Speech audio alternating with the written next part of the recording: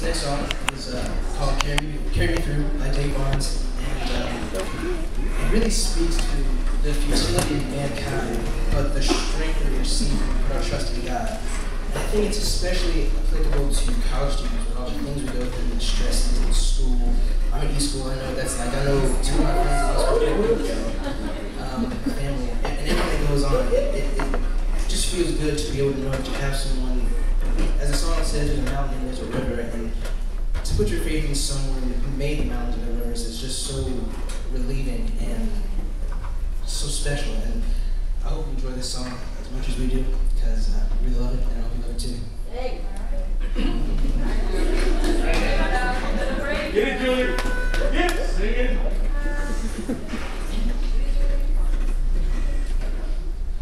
There's a mountain.